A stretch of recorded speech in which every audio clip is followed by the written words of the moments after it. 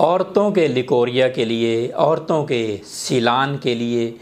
Leucorrhoea दो तरह का होता है, एक बदबूदार लिकोरिया होता है, पीला लिकोरिया जिसे कहते हैं, पुराना लिकोरिया, दूसरा सफ़ेद लिकोरिया होता है, और एक लिकोरिया तीसरा भी होता है, जिसमें अंदाम नहानी में खारिश होती है।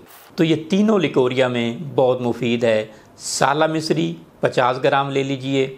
मूसली सफ़ेद 50 ग्राम ले लीजिए। और इसके बराबर में चीनी मिला लीजिए या मिश्री मिला लीजिए, ये रोज़ाना जो है 10 ग्राम सुबह 10 ग्राम शाम को पानी के साथ लीजिए।